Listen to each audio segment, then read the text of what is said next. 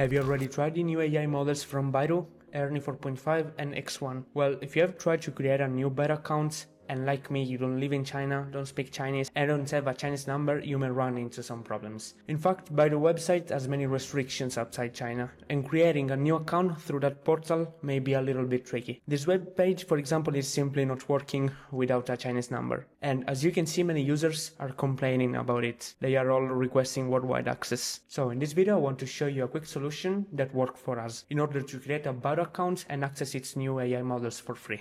The key part here is to use the Baidu mobile app for signing up instead of using the website version in the browser. So for this video, you just need an Android phone and nothing more. Actually, if you're using an iPhone, you should be able to follow a pretty similar strategy. Now, first of all, we have to install the Baidu app and you can open the Play Store and check for its availability. As you can see in my case, the Baidu app is not available through the Play Store, so it means that we have to install it manually. So before opening your browser, make sure that uh, it has the right privileges for installing new apps. You have to open the Android settings, then go to apps, select the uh, browser you want to use, in this case Chrome, and make sure the install unknown apps privilege is allowed. Now we can open the browser.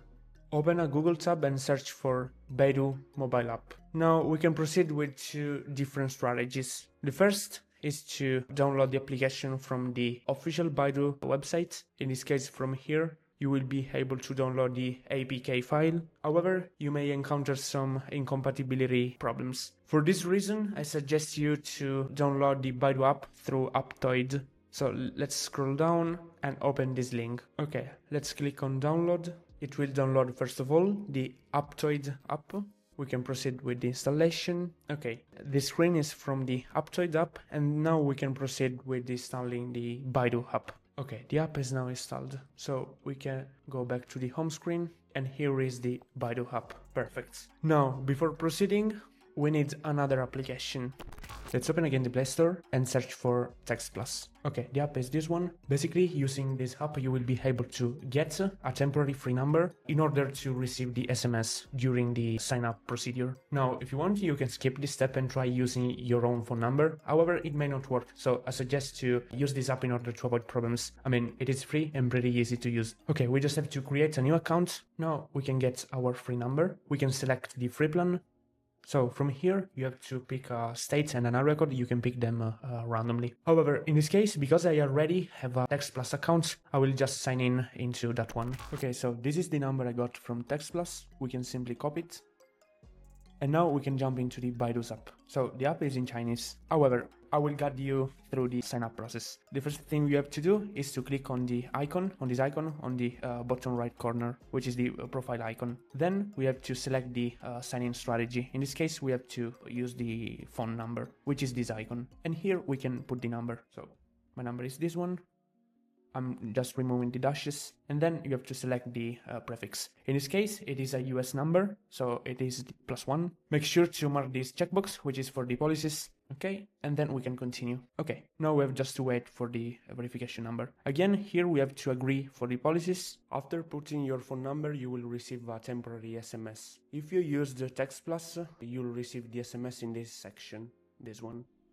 Okay, as you can see, this is the temporary code. If you don't receive the SMS on your first try, you can click this button for receiving another code.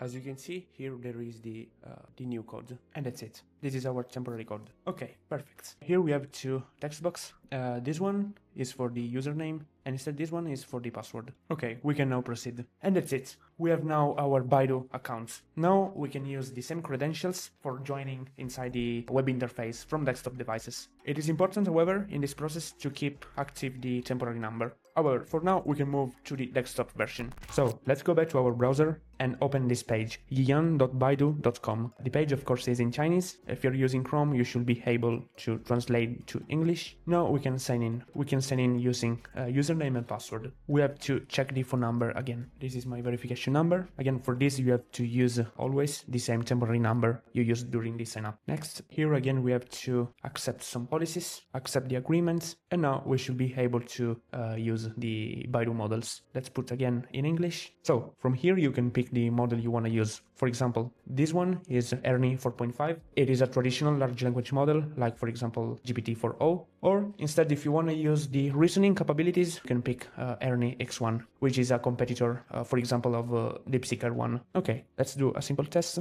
Okay, so this is the famous question of asking how many hairs are in the word raspberry, just to check the reasoning capabilities. Okay, perfect. The answer is correct. However, we will test it uh, better in a detailed video. And that was all. Let us know in the comments if you need any help.